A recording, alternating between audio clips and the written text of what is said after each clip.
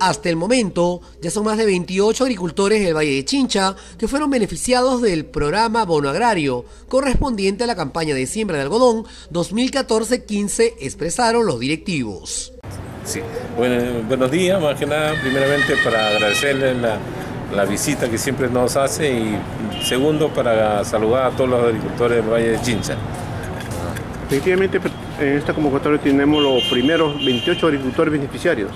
Claro, como estás tomando nota tú, eh, son los eh, beneficiarios de la campaña 14-15 que estamos promoviendo a través del Agrobanco y el Ministerio de Agricultura, a una tasa de 12% bastante provechosa para los agricultores del Valle. Ya en los próximos días eh, se ampliaría esta relación. Sí, ya tenemos ya buen número de expedientes entregados al Agrobanco y creo que en estos días o mañana que está el gerente general está por acá, eh, no, va a, desembolsar los siguientes créditos que están este, pendientes de los agricultores. ¿Continúa el empadronamiento?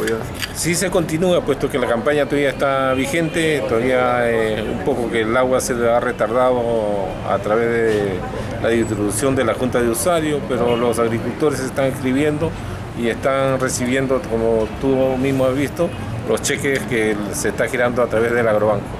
Bueno, señora secretaria, un amplio trabajo que va a tener justamente con estos primeros 28 beneficiarios. Sí, buenos días con todos.